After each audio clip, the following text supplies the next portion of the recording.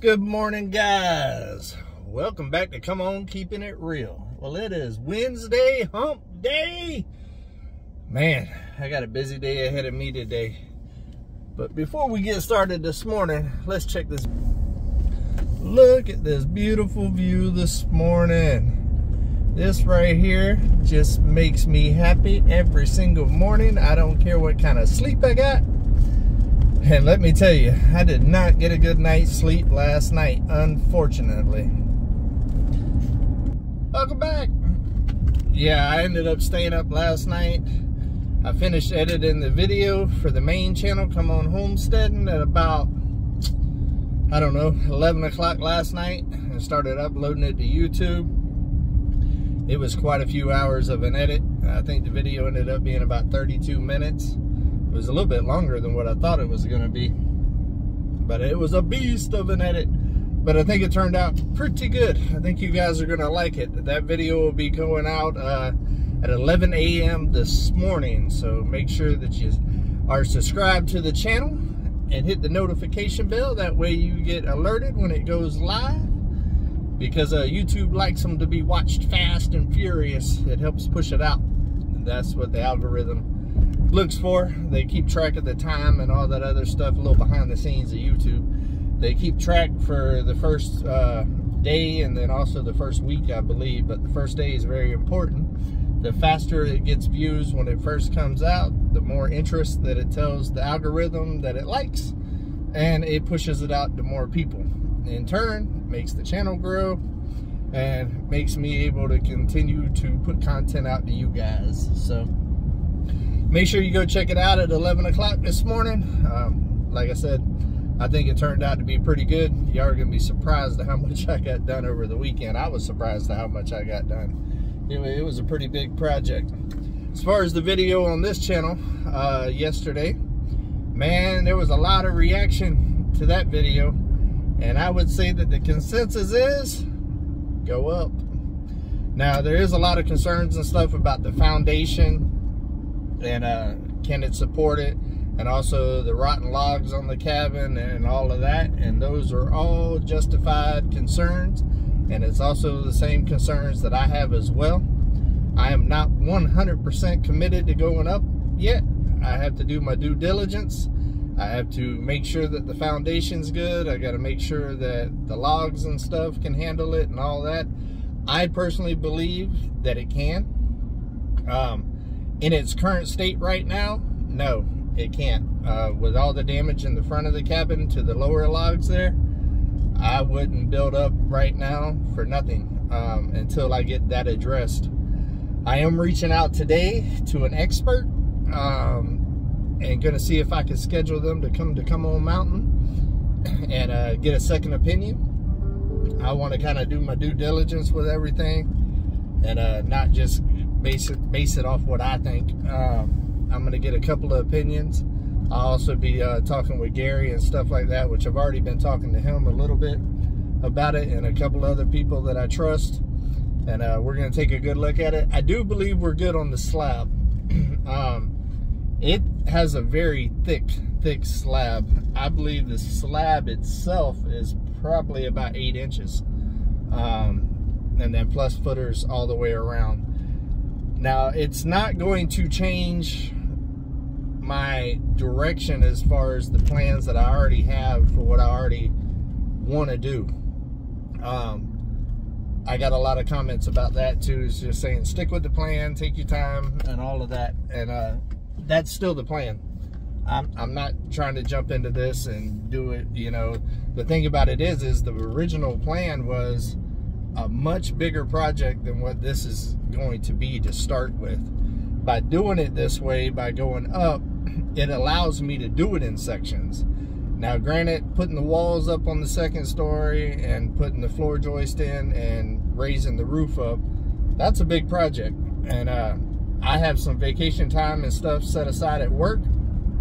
I will be taking uh, at least eight days off from work plus weekends or whatever. So you figure about two weeks. Um, I'll actually be off work whenever I do start that project.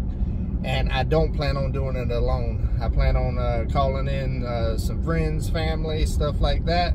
and have a good old fashioned barn raising party out there on Come On Mountain. And uh, I plan on having all the wood milled and stuff laid out and ready to go before we actually start. That way we can have one or two days of demo. And because uh, it always is a lot quicker to take something down than it is to put it up.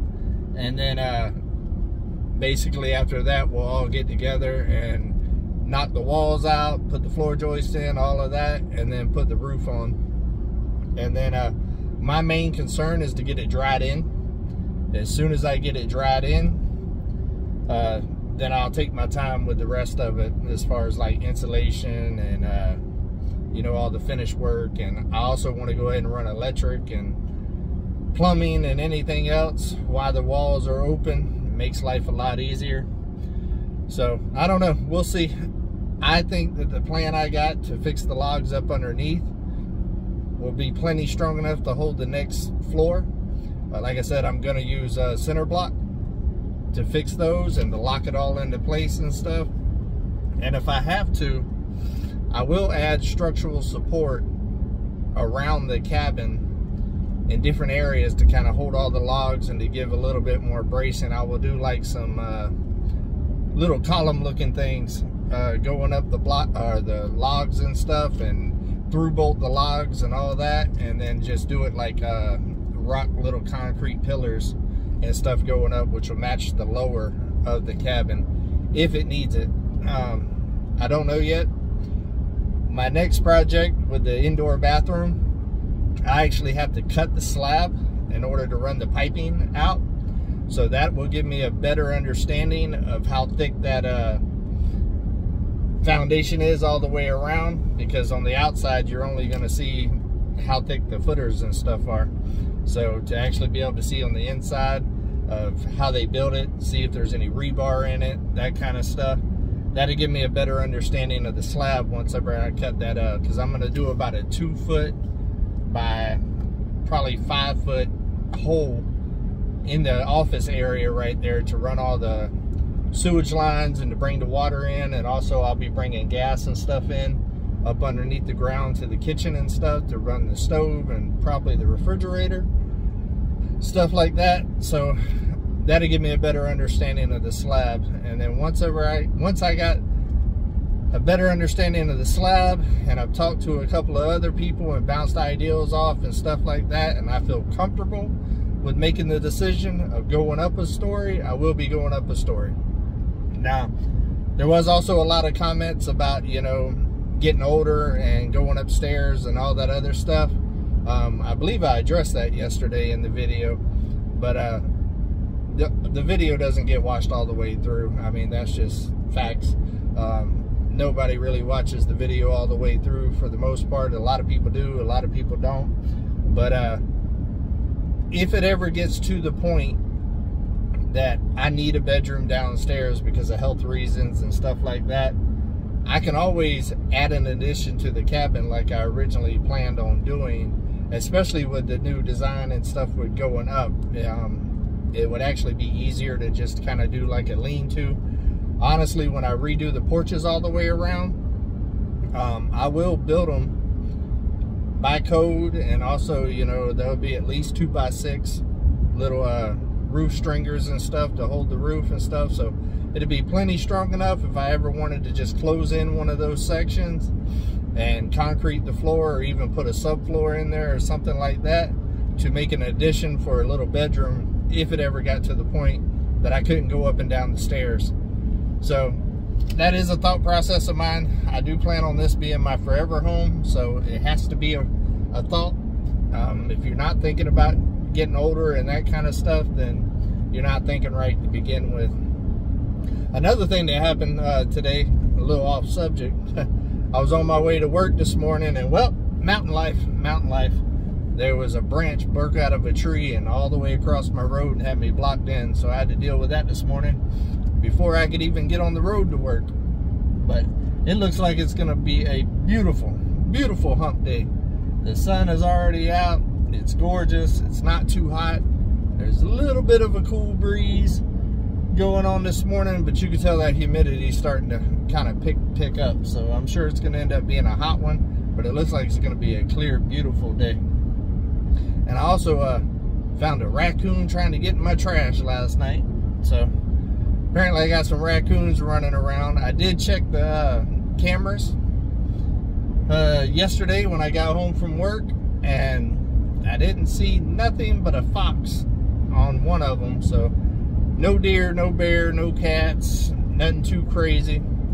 Um, I did see me coming in and out of the cabin and around the cabin and, and stuff at all different hours of the night. So that's kind of funny to kind of see yourself, you know, because you don't think about the cameras and stuff that's all around the house whenever you just your day-to-day -day thing and I do shower and stuff outside so to see myself on a camera just walking around it was kind of funny um, kind of made me giggle I ain't, I ain't, gonna lie but we also got uh, a live tonight on the main channel come on homesteading and uh, excited about that I'm excited to have the interaction with you guys and uh, um, real time it should be a good time there is one problem though. I am out of sipping cream. And I do not think that I'm to have time to go. So it might not be a sipping cream party tonight. But that's okay.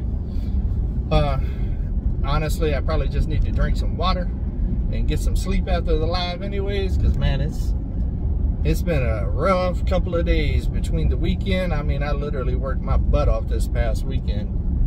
And then uh, work's been a little bit busy and then also trying to get the edits and stuff done and keep up with everything. I'm tired, I'm tired guys, but we're getting through it.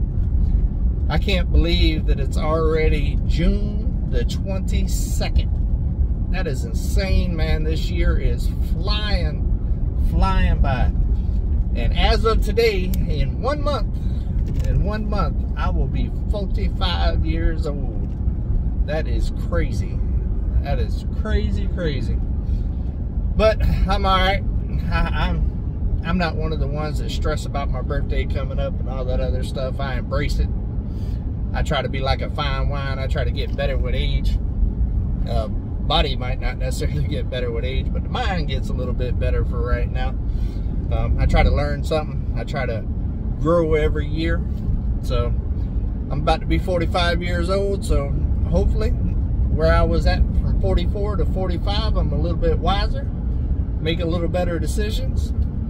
And I know one thing, every year that goes by, I appreciate life more and more. So it's definitely something that stays on my mind nowadays. Oh, that sun is bright.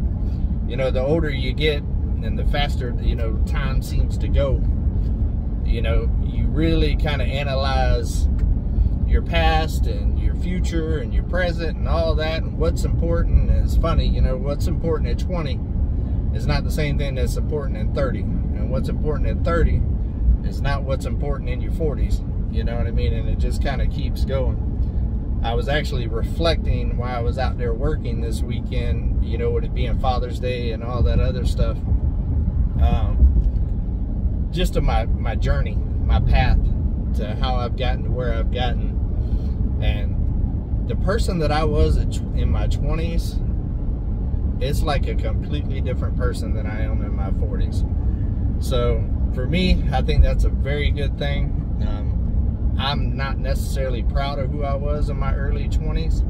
I wasn't a horrible person, but I definitely wasn't the greatest person, I would say. So the fact that I've evolved and kind of got better with age, kind of like I was talking about with the wine, um, it means a lot. It means I'm on the right track. And uh, for me, I try to, uh, I just try to help kids out, you know, and, try to be there for kids and mentor and stuff like that, and make sure that I live a certain type of lifestyle because I'm all about. Uh, growing up, I was always told, "Do as I say, not as I do." Always hated, hated that saying. To this day, I still hate that saying. I don't believe in it. I believe in you know, do as you see me do.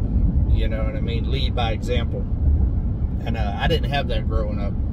I had the opposite. Uh, a lot of people in my my world doing things that you definitely shouldn't do and not being the people that you should be and then tell me to do something totally different you know i just to me that's not the right way to do it so i'm definitely not perfect by no means but i do my very best to try to lead by example And my kids know that.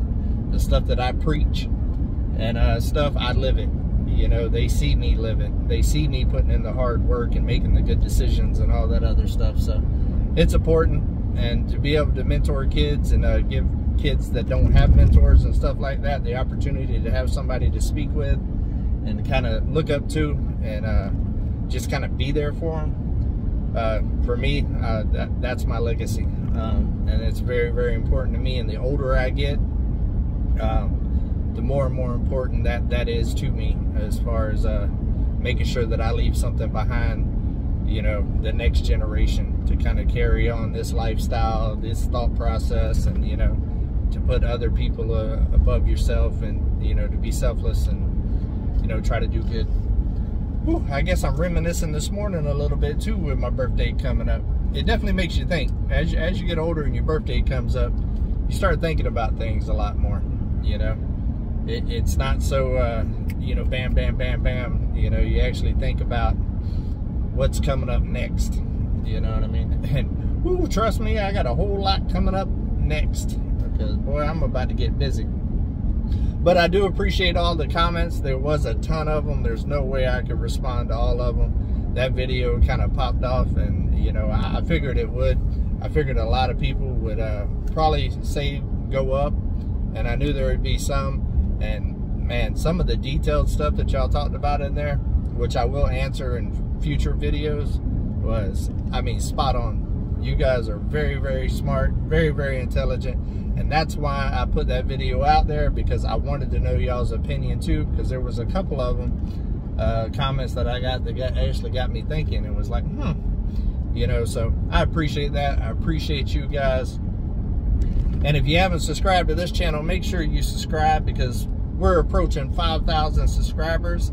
This channel on average does anywhere from 10 to 11,000 views per video and we're at 4,000 and something subscribers. So that means half of y'all ain't subscribed to the channel now. Come on, can we get the subscribe button with a little notification bell? Come on. That's my selfless plug for this morning. But I appreciate y'all guys. I love you guys. And have a very productive hump day.